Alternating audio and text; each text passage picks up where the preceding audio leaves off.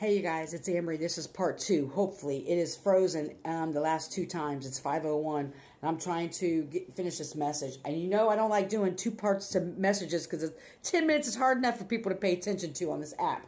Um, and here I am trying to record this again for the third time, or second time, the part two. So, I really encourage you to go watch part one. I'm not going to go through the whole message, but I, what I was starting to talk talk to, we were talking about the poetic justice, and I was talking about healing the trauma wound when it came to injustices in your life. The importance of being able to heal that wound, so when the justice comes in, you're healed from it, and you're able to you're able to step into a whole new path, a whole new thing, and um, accelerate. And I talked about that in different areas in your life. It's important to heal those wounds before the justice come in. Oftentimes, we feel as though we'll be able to close a chapter in our life when, when we get justice. And with the message the Spirit's been giving me for a long time, and take what resonates and leave the rest.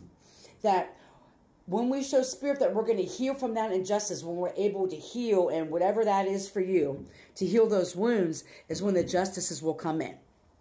And so I started to talk about with this uh, amazing card with the cat and the kids holding the two eggs and then, of course two more kids breastfeeding with this divine divine feminine here. Um, the fire around them with the animals at the side. There's eggs everywhere. So there's something that you're going to be birthing. There's a new way, a new living uh, that you're going to be birthing. And so, and it's going to come through being able to heal these injustice wounds in you. And what Spirit is also saying, and what I was getting, what I was starting to talk about um, the end of the last video and it cut off, was that there's certain parts of our life where we have to look at the healing and treatment modalities that we use for ourselves. It's not a cookie cutter thing. And I gave the example that, you know, when I was in treatment, um, it was a long-term facility for, it was a trauma-informed for women and children. Was only one, and the, the phone is lagging. Damn it, I don't want it to freeze. Hold on. Please say it's going to go because I don't want to repeat this again. I really don't. And I'm trying not to watch my lips. Oh, it is doing it. Well, you know what? Just figure it out. I really want to get this message out. And I think it's so weird that it's freezing all of a sudden. Oh my God. So, anyway, that you're going to be birthing some of these eggs and stuff like that. And so when I was in treatment, that was a good foundation for me to work on because I did EMDR therapy, which is amazing for trauma, CBT, trauma informed yoga. I mean, it was an amazing, amazing program. It was a great foundation for me, but it did not address my spiritual side. It did not address all the things I was experiencing. Even as a social worker, the people I worked for years, the agents I worked for years, I mean, everyone was trying to give me meds or tell me I was crazy or that I was on drugs, and I'm just a spiritual being, right? And so, and I won't go into detail about that, but they had me on 17 medications to get me off pain pills.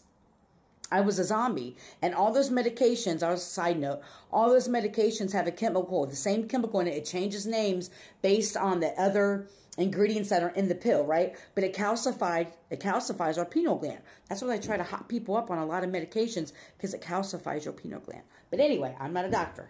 Okay? Take what resonates, leave the rest.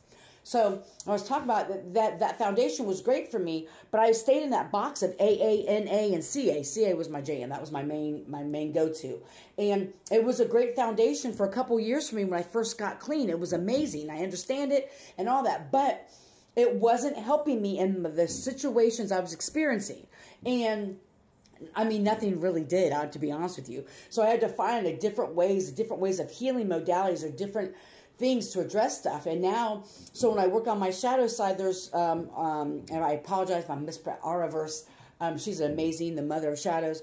Um, um, I, one day I'll be able to afford her. Um, but I go to look at different modalities to heal certain wounds or to do different types of healing. Sound healing is great for certain things. Reiki is great. Obviously, I'm a, I'm a Reiki level two, and I go and get Reiki um, when I'm able to do it. Um, to kind of just realign, have somebody else. I'm very particular about who's in my energy, though. It's only I only let one person do physical Reiki on me, you know, face to face or whatever. Um, and he's amazing. But um, and so those are good to open stuff up and realign. Um, and I'm always a big advocate for nature. And for me, that's my healing modality now.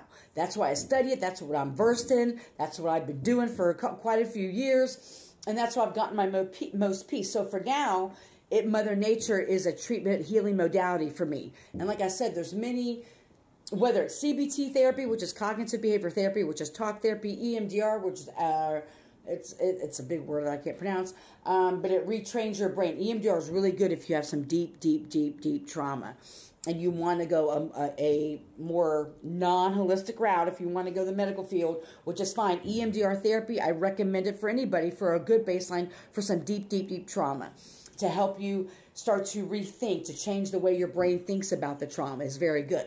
And so, what this card is saying, back to the point, what this card is saying is that maybe it's time to help you heal through these injustice wounds, to look at other treatment modalities to help you heal.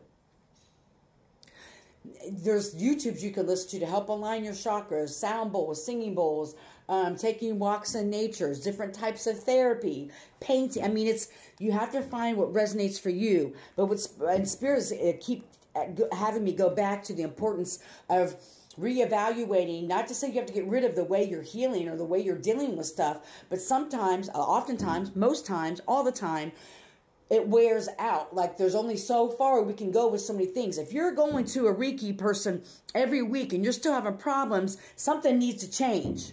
And I'm not digging any Reiki people because I'm a Reiki person. But if someone, just like if someone would come to me for a reading every other month, every other month, I would ask them, even though it doesn't matter if they're giving me money or not, because it's about them. It's for the greatest good for all, right? That's why we're doing this for the greatest good for all. Because the money will come.